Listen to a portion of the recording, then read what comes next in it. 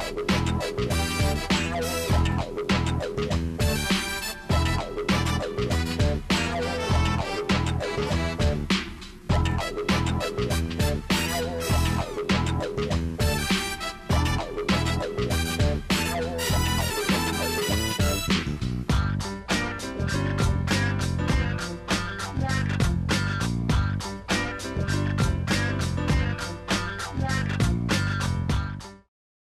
Salve galera, sou Tavinho Rodrigues. Sou Leandro Barsotti, está começando agora o Mais Skate TV, seu programa semanal de skate. Agora fica com a Arena Esca David Severo e o Carlos Henrique Pia aí, dos Arena Esca Cabreiro, os moleques tem muito estilo, confere.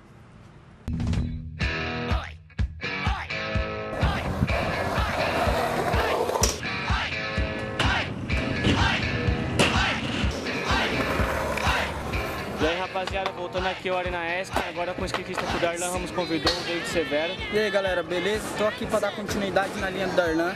Ele terminou a linha dele com nole flip e me pediu flip nose de front. E a última é da minha escolha. Vamos lá concluir essa linha.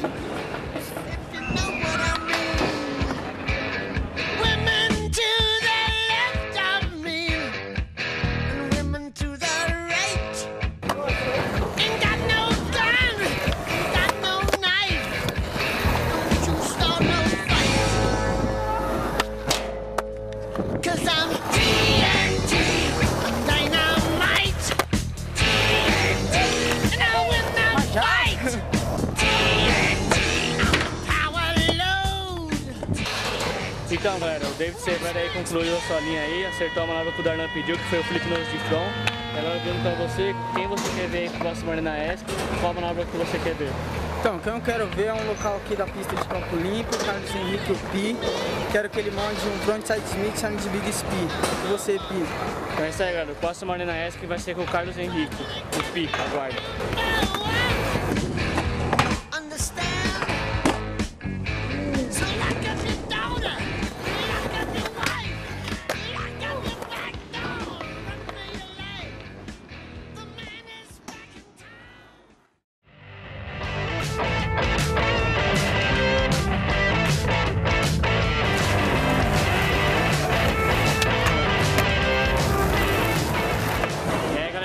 Novamente aqui com a Arena ESC, agora com o skatista que o David Severo convidou, o Carlos Henrique Pi. Bom dia galera, tô aqui no dia do meu aniversário, dia 3. Vou dar continuidade à linha do David Severo, acertando os Smith Big Spin que ele me pediu. Confere aí. Downtown under red lights. I'll give you one more night. You've only got one chance to live.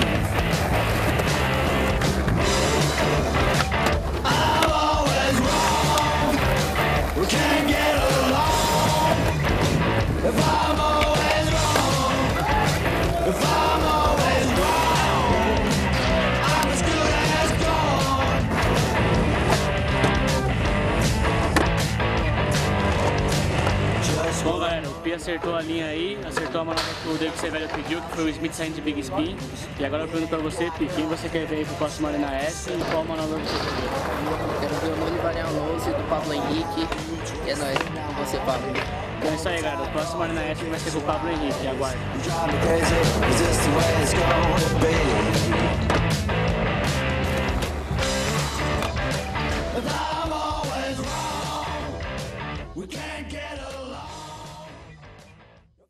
Galera, esse aí foi o Arena ESC, como vocês viram aí, ó, foi do David Severo, tem muito estilo aí, muito gás nas manobras.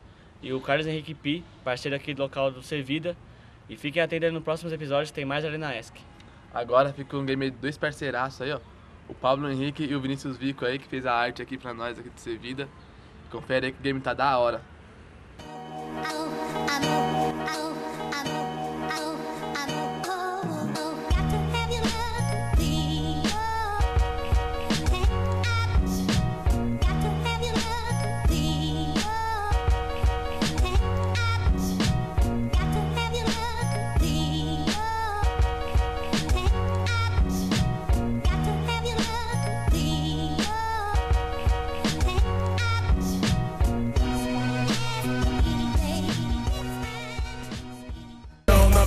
pra que todo mundo veja o guerreiro que cê é. Que nem rock balboa, toma soco e ainda fica em pé. Sangue pelos olhos, mas não deixe escapar a chance de ser feliz.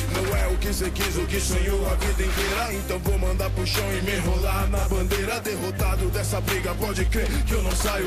O troféu é meu, pois o campeão sou eu, então.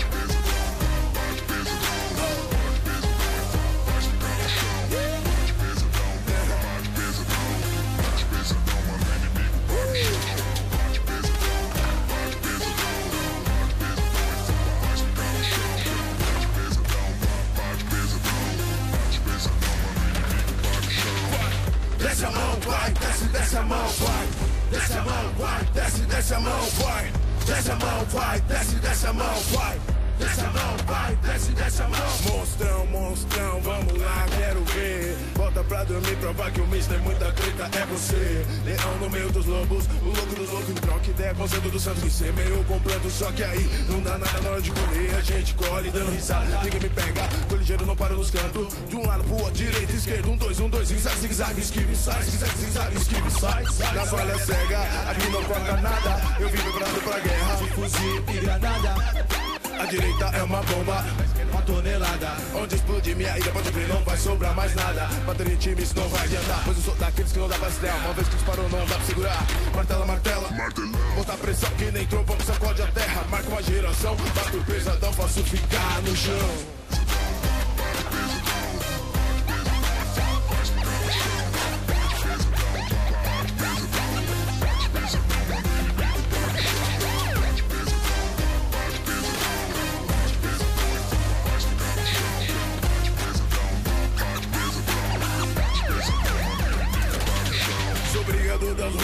Brigador dos rings. Sou soldado de elite, não me subestime. Brigador do tatame, brigo na faculdade. Quando faço o exame, brigo pra me graduar, pra me profissionalizar. Brigo com demônios, brigo com diabo, brigo comigo mesmo quando de Deus eu me afasto. Brigo com as lajes que tenho que bater.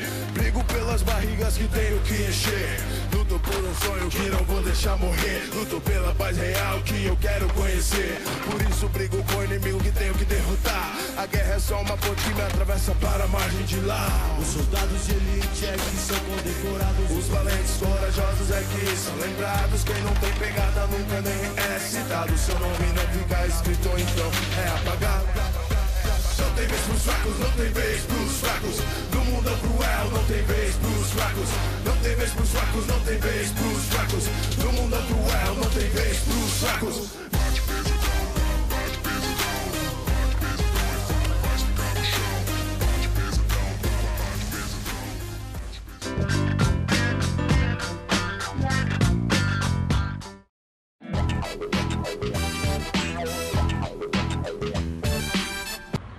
Bom, galera, esse aí foi o Pronto pro Game entre Vinícius Vico e o Pablo Henrique. Os dois aí parceiros meus de mil anos, sempre na skate comigo. Um game bem disputado. E fiquem ligados que logo tem mais game aí no próximo episódio. Agora, fiquem aí com o dia na minha vida. Um rolê aqui em Campo Limpo aqui, parte 2, mostrando mais picos pra vocês aí. E quem tiver interesse aí, ó, cola que os picos tá da hora.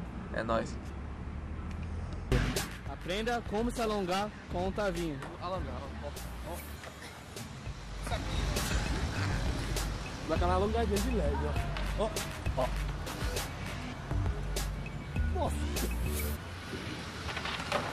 Ó, tornou. Esse é um alongamento perfeito para a sua coluna. Siga as instruções de Tavinho, ou professor de educação física.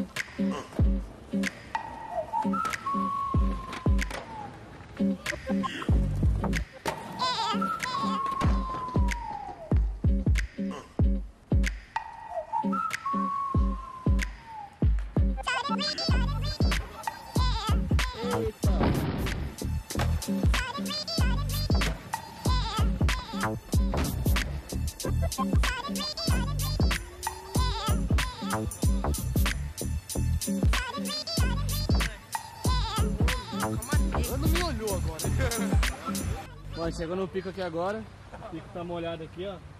Como vocês podem ver, o banco tá meio molhado, sujo. Tá meio ruim pra andar.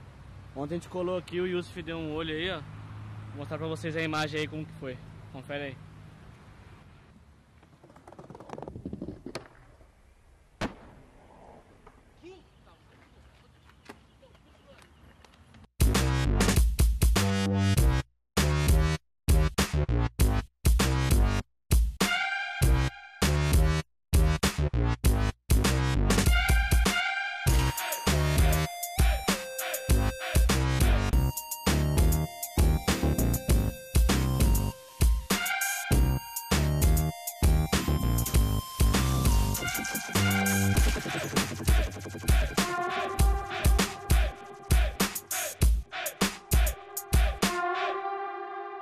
Esse aqui é o pico aqui do ginásio.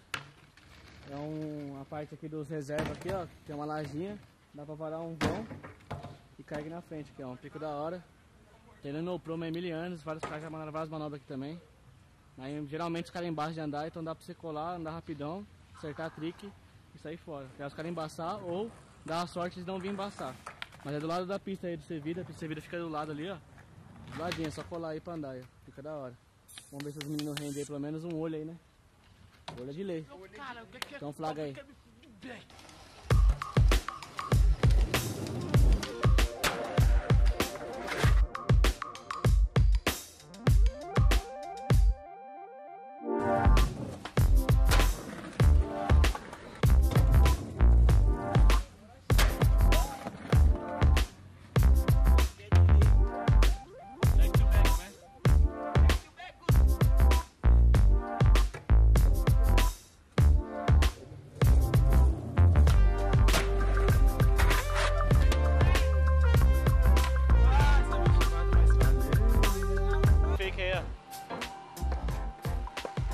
Novo aí, ó.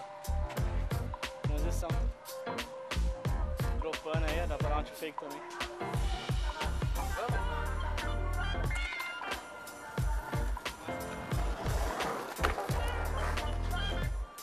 Da hora. Vê se rende coisa. Oi? Ficaria? Vamos ver se rendeu uma manobrinha na 45 aí, ó.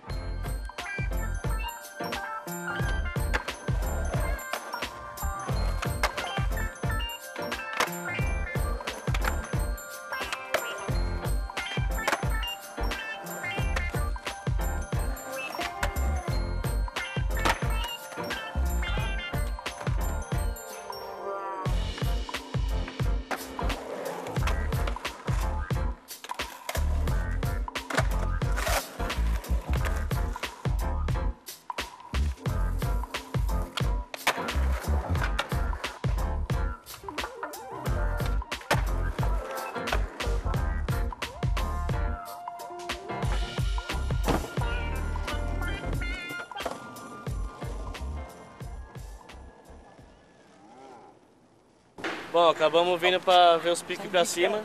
Achamos esse pico aí, ó. Acabou rolando umas manobrinhas de transição aí, ó. Os moleques deu umas manobrinhas com o Bank aí dropando. Umas manobrinhas com fake também rolou. Então é isso aí, mano. Agora a gente vai descer ali, ver se tem alguns picos pra baixo também, pra render mais alguma coisa e fechar aí. Os picos de Campola, parte 2 aí. Mas não filmou isso aqui, ó. Mano, me olhou, moleque. Tchau, tchau, tchau. O mano me olhou. Olhou pro Guto. Agora é Tocubá, sai de perto, Tocubá. A tarradinha no alto. Esse moleque do funkeiro, chapa. Firmeza Browning, Browning. Daqui a pouco nós voltamos aí por mais pico aí. Falou.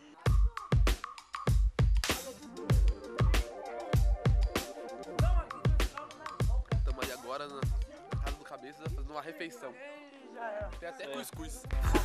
Isso aí, quermessinha de leve. Os amigos aí, ó, com os parceiros. Fogueirinha ali. Bem chile. Vamos ali comer umas guloseimas. Dá um liga aí que tem na mesa aí, ó. Tô presente. Tá presente? Tô apresentado aqui, ó. Calma aí, só. Cariado. Chega até aqui. um Cuscuz. Elegante. Na tua cara. Goiabada. Vai fora.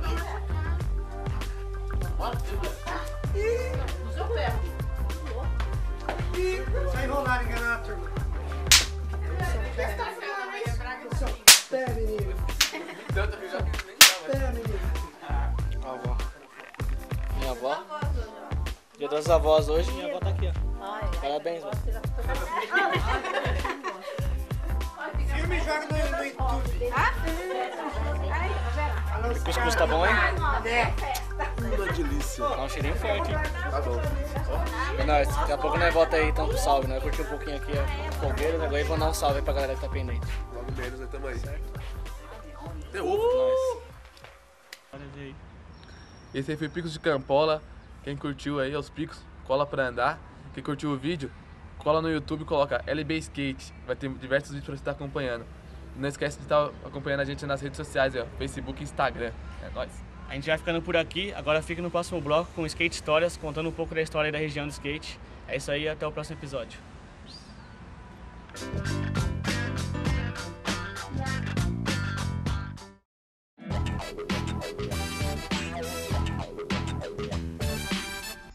Sem mais nem menos, o Skate Histórias começa já.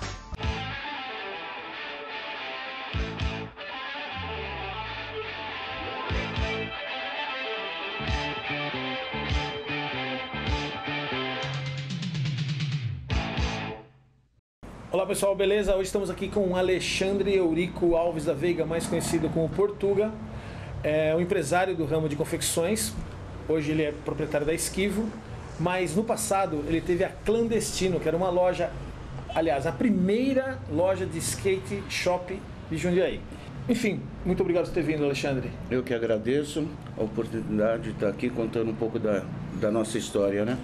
Aproveitando esse mote, hoje em dia a sua loja é especializada em bolsas, em diversos tipos de bolsas especiais.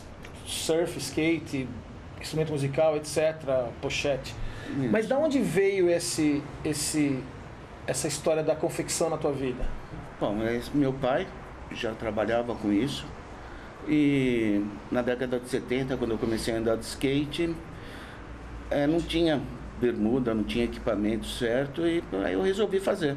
Entendi. Né? Minha mãe não, não entendia direito o que eu precisava, eu peguei, desmontei uma mochila de escoteiro, um tecido que eu tinha lá, tingi, ela me ensinou a costurar e fui aperfeiçoando né, com meu pai e com a minha mãe. A rama, a rama de confecções da sua família era de camisaria, é isso? Meu pai era especialista, especializado em camisaria masculina. Então daí quando você começou a andar de skate, É, você começou a desmontar as coisas para montar os equipamentos de skate, as roupas de skate. É, porque a gente não tinha, né? Não tinha material naquela época, não tinha né, equipamento. Então a gente tinha que improvisar, né?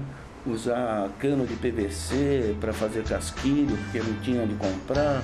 Era nos Estados Unidos e era difícil de achar, né?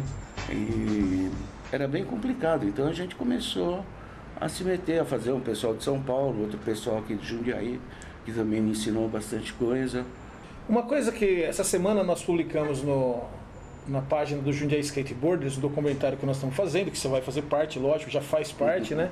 Nós colocamos uma foto da, da, da sua loja, da Clandestina, né, da antiga clandestina. na Avenida São Paulo. E nós Aham. tivemos mais de duas mil visualizações, Opa. trocentos likes, né? E Obrigado, galera. Agora, tem uma, uma coisa que me confunde um pouco, assim. A Clandestino foi a primeira skate shop de Jundiaí? A Clandestino foi a primeira skate shop de Jundiaí. Tiveram outras lojas, que nem a Solemar, que era uma loja de esporte, aproveitou, estava vendendo o começo do skate, que eram os Costa Norte, os DM, que eram os melhores skates da época, o esporte jundiaiense, né? o Lenha também já comercializava skate. Né? Depois o skate deu uma caída, mas eu sempre continuei, né, gostando de skate, só que eu andava de patins porque eu aproveitei, apro- peguei a moda do patins e no patins eu conseguia andar, no skate eu só caía. Mas era um jeito de eu estar junto com o pessoal do skate. Então aí eu fui andar de patins em pista de skate. Também fui um dos primeiros, acredito, né? Pelo Uhum. menos aqui em Jundiaí, com certeza. Só uma dúvida, porque nós somos da mesma época, né? Uhum. E, mas no esporte jundiaense, o esporte jundiaense só vendia Torlai, ou vendia já outras marcas também? Ah, tinha o Bandeirantes, o Torlai, o Ben Rose, aí os que a gente considerava Pro, que era o, o Costa Hang Norte, Ten. DM, é, o, o Hang Ten já era importado, né? Foi um maior trabalho para conseguir um. A prancha era de fibra de vidro, era super flexível, as rodinhas gelatinosas. E você tentou andar de skate? Tentei, é, me esforcei bastante, mas não deu certo. o negócio foi depois da Let's Roller, né, do nosso amigo Chacal. Aí que eu comecei a andar de patins e não sei o que, peguei jeito do patins. A gente tem uma pista ali atrás, da próximo ao tênis clube, né? Aí eu comecei a andar lá, aí inauguraram o Mirante, aí eu fui no Mirante e eu comecei a adaptar meus patins também, porque naquela época a gente não tinha muita coisa, né? Então. Você fazia o seu patins? Eu fazia o meu patins, eu fiz o, o processo inverso, né? Que a turma antigamente pegava patins e pregava numa tábua, virava o skate. Eu peguei o- os skates, já os melhorzinhos da época, né? O melhor que tinha da época, e adaptei ele num tênis. né? Joguei uma chapa de base, fiz lá minhas coisas para suportar meu peso e. Né? Vamos voltar, não, vamos adiantar um pouco o tempo. É, independente do fim ou não do Mirante, eu me lembro que a Clandestino acabava promovendo vários eventos em Jundiaí. Ah, sim, eu adoro dizer, você, você- mesmo com a, com a queda do Mirante, com o final do Mirante, você acabou continuando com o skate e com a Clandestino. Fala um pouco desses eventos que você fez para tanto para promover tua loja como para promover o skate, lógico. Eu trazia muito, muita gente de São Paulo para andar aqui em Jundiaí, para dar base para o pessoal de Jundiaí. Para eles verem, trocar Você tinha bastante experiência. contato com essa galera? Muito contato, né? Porque Quem? era o Márcio Tanap, Jorge Cuji, eh, o Salada, ah, o Eda veio na inauguração do Clube Jundiaiense, né? o Rui Moleque, o Fernandinho Batman, o Tron, todo esse pessoal veio andar lá no, no Divino, fizemos um evento lá também. Uma vez participei da Feira da Amizade, que foi muito legal, construí um No Barão também você fez alguma coisa, não Ah, lá era é, tarde, tarde de lazer, né? Ele era de domingo à tarde, a gente se reunia, punha uma rampinha lá, ficava lá, o pessoal da Luquina emprestava uma tomada lá, a gente ligava até a vitrola. Né, no Mirante a gente levava, é, o pessoal levava um som, né, um Aham. toca-disco Aham. mesmo, e a gente Toca-disco no Mirante? Toca-disco no Mirante, cara. E a gente ficava ouvindo em CDC se jogando de lá, era o Neide, né, o Vartela, o Hugo, o Curió. Agora, uma, vol- voltando, voltando, adiantando, voltando de novo. Se para os skatistas já você não tinha hoje a facilidade que você tem de YouTube, TV, DVD, brará, brará. Naquela época, para os skatistas você tinha revista. Ainda tinha alguma coisa. Agora, mesmo com os patinadores, não tinha quase ninguém que andava. Não, não tinha você ninguém. tinha pouca imagina. referência. Não, não tinha referência quase nenhuma. A segunda vez que eu vi, a primeira vez que eu vi alguém andar de patins foi o Jorge, o Jorge Couge e o Salada, que foi lá no Evicat. Que eu vi eles andando, que andava no verte, o Mirante não tinha verte. Então o que você está me falando é que o Mirante não tinha essa parte vertical, ele Não. jogava para fora. Para fora. Te É. trazia de volta Não, não, ele você- seria como um Banks. Entendeu? Mas ele não tinha o acabamento do Banks.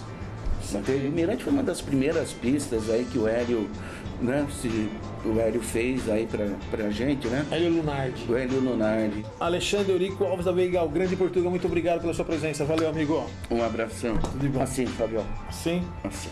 Like a Skate Brothers. Skate or die.